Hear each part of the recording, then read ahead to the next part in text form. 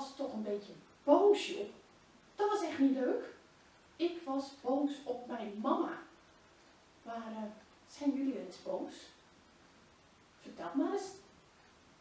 Nou weet je, ik was boos omdat ik mijn lieve, kleine, lekkere, zachte knuffel kwijt was. Oh, maar nou, ik heb hem gelukkig weer. Zo fijn. Oh, maar weet je waarom ik nou zo boos was? Mijn moeder had hem weggelaten. Oh, dat kan toch gewoon niet? Ik moet mijn knuffel hebben. Maar ze had het wel goed gedaan hoor, want hij ruikt nu zo lekker. Heerlijk. Weet je hoe dat komt? Ze had hem in de wasmachine gestopt. Tja, dan was mijn moeder toch wel lief. Nu is hij weer lekker fris. Ik had wel lang gezocht hoor, voordat ik hem weer vond. Jongen, jongen, jongen. Uh, trouwens, op de filmpjes van het Bijbelverhaal gaat het ook over iemand die iets heel lang zocht. Kijk jullie eens even naar dat filmpje, dan weet je wie er aan het zoeken is en wat hij vond. Nou, misschien lijkt het hier wel op. Kijk maar goed. De Heer Jezus vertelde mooie verhalen aan de mensen. Als hij een verhaal vertelde, wilde hij graag de mensen iets leren over God. Vandaag horen we het verhaal dat Jezus vertelde over een schaapje. Meh, meh. Hoorde jij ook een geluidje? Oh, het is Wolletje. Wolletje is een heel lief klein schaapje. Maar pas is er iets gebeurd. Zal ik vertellen wat? Er is iemand die heel goed voor Wolletje zorgt. Dat is de herder. De herder zorgt voor alle schapen.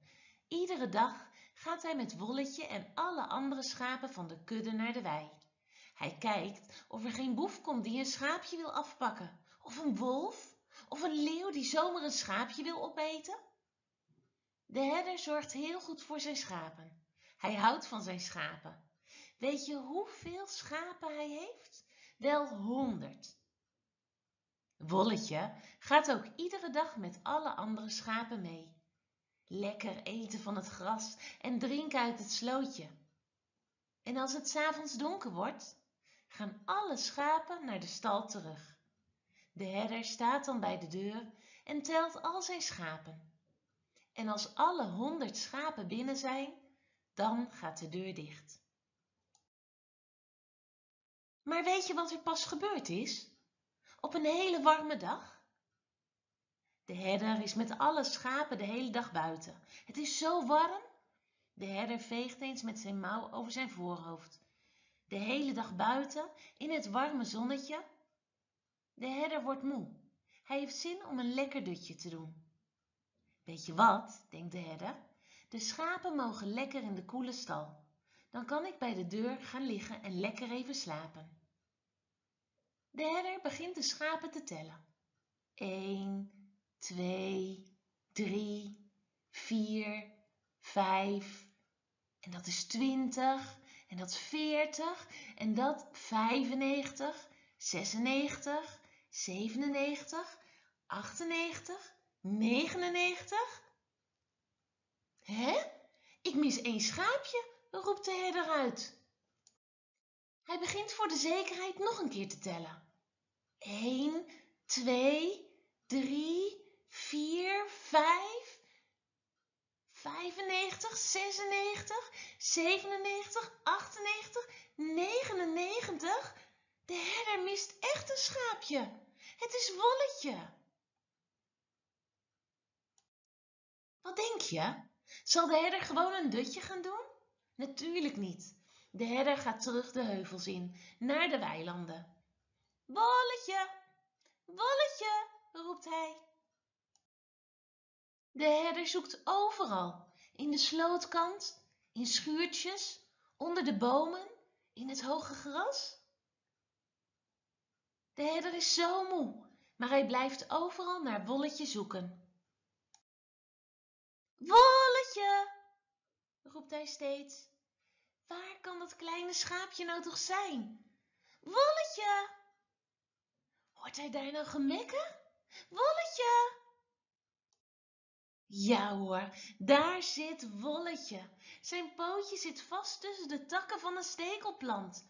Er zit een gemene stekel in zijn pootje. De herder haalt de stekel er voorzichtig uit. Hij tilt Wolletje op en neemt hem in zijn armen. Hij legt hem over zijn sterke schouders en neemt hem mee. Hij denkt er niet meer aan dat hij zo moe is.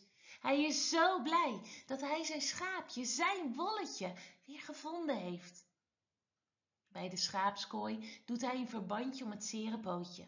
Hij knuffelt Wolletje en legt hem voorzichtig neer.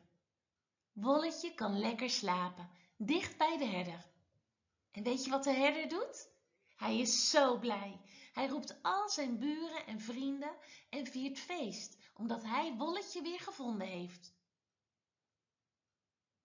Weet jij waarom de Heer Jezus dit verhaal vertelde? God is ook zo, wil Jezus ons leren. De herder liet zijn schaapje niet in de steek. God zal jou nooit in de steek laten. God wil niet dat je verdrietig en bang bent. Hij wil dat je rustig en veilig bent.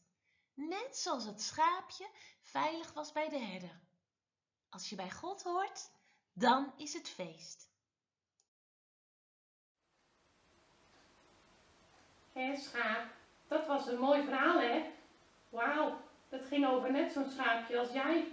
Ik ben zo dol op jou. Nou, zo was die boer ook dol op zijn schaapjes hè? Wauw. Hé, hey, dat is waar. We kunnen er ook een werkje van maken. Zullen we dat dan doen, schaap? Doen we het lekker samen. En eh, jongens en meisjes, trouwens, ik heb nog een raadseltje voor jullie. Luister eens. Ik heb een deuntje en dat deuntje is van het liedje wat bij het verhaal hoort. Weet jullie welk